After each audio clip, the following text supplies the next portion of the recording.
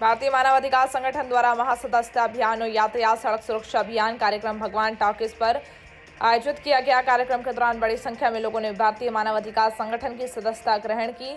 कार्यक्रम के दौरान वहाँ उपस्थित लोगों को सड़क यातायात नियमों की जानकारी दी। कार्यक्रम के दौरान SP traffic Prashant Kumar ji, TI Shri Anand Kumar Ojha ji, master planner Vishnu Sharma ji, TSI Rana Pratap Chauhan, थाना New Agra inspector Jitendra Kumar, constable Rajesh और राजकुमार जी उपस्थित रहे। कार्यक्रम के दौरान राष्ट्रीय अध्यक्ष अरुण कोहली, विकास गुप्ता, शिवहरे, संजय बंसल, संजय धूते और आदि लोग उपस्थित थे। लेटेस्ट न्यूज़ देखने के लिए प्राइम ब्रेकिंग न्यूज़ चैनल को सब्सक्राइब करना न भूले और साथ ही डेली अपडेट पाने के लिए बेल आइकन